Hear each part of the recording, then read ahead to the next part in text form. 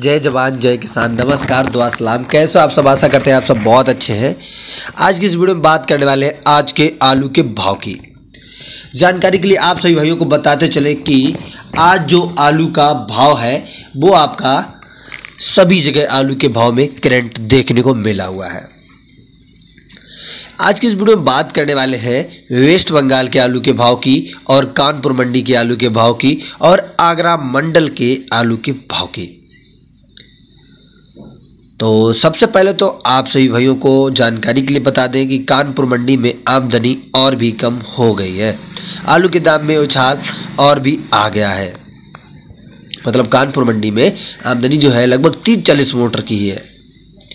और आलू का जो भाव है, वो आपका सफ़ेद आलू जो है आपके 400 से लेकर और पाँच सौ पच्चीस रुपये प्रति मन के हिसाब से बिक रहे हैं।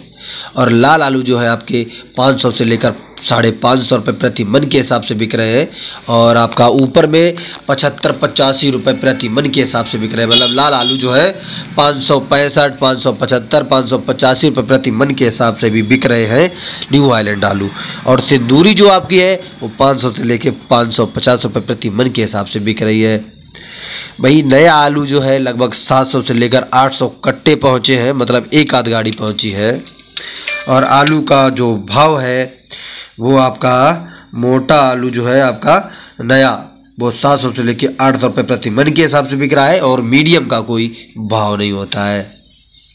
मतलब भाव क्या होता है? मीडियम जिस भाव में बिक जाए, वो भाव होता है भाई। वही बात करें कानपुर मंडी में आपका जो गुल्ला और किर्री और बीजा, ये तीनों चीज़ें बैलेंस में है और इन्हीं का बैलेंस है, बाद बाकी छट्टा माल बढ़िया बिक्री हो रही है, अच्छी तरीके से बिक रहा है, सब कुछ ठीक ठाक है और सब कुछ ठीक ठाक होने वाला भी है। बीजा बिक नहीं रहा है, गुल्ला चट्टी फिर भी बिकने लगे हैं। अब बात कर लेते हैं आगरा और वेस्ट बंगाल की। वेस्ट बंगाल की बात करें, वेस्ट बंगाल में आज पचास रुपये तक का उछाल देखने को मिला है। वेस्ट बंगाल में 650 से लेकर सात सौ बीस रुपये प्रति कट्टा के हिसाब से आलू की बिक्री होने लगी है। पहले छः सौ, साढ़े छः सौ थी, फिर छः सौ, साठ, सत्तर हो गई थी।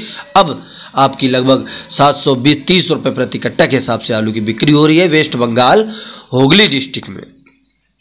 वही बात करें, वेस्ट बंगाल बालों के लिए अभी आलू में कितना टाइम है? वेस्ट बंगाल बालों के लिए अभी आलू में लगभग आपका डेढ़ से लेकर दो महीने का टाइम है।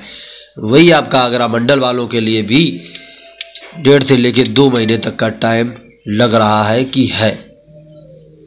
और जिन जिन किसान भाइयों के पास माल रखा है प्लीज़ वो लोग घबराए नहीं, सब कुछ ठीक होगा, सब कुछ अच्छा होगा। आलू के दाम में धीरे धीरे करके उछाल आ रहा है, जो राशन आलू है वो अपना धीरे धीरे करके निकाल सकते हैं, वो उनको एक बार समय मिल जाएगा।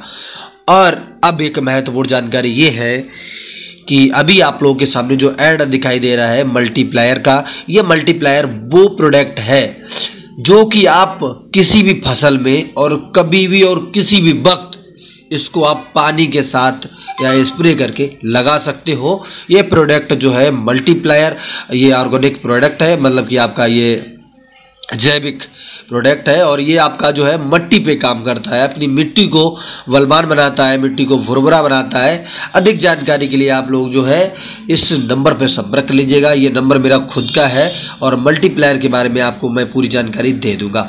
हालाँकि कुछ किसान भाई ये कहेंगे कि आप अपने प्रोडक्ट का प्रचार कर रहे हो। नहीं भाई, ऐसा नहीं कह रहे हैं लेकिन मेरा कहना ये है कि सीधी बात समझो, सौ की बात एक। जब हमारी मिट्टी सही होगी तो हमारा फ़सल भी सही होगा। मिट्टी सही होगी, तना सही होगा, तना सही होगा तो सब कुछ ठीक होगा। तो प्लीज़ आप लोग जो है अधिक जानकारी के लिए इस नंबर पर संपर्क कर सकते हो।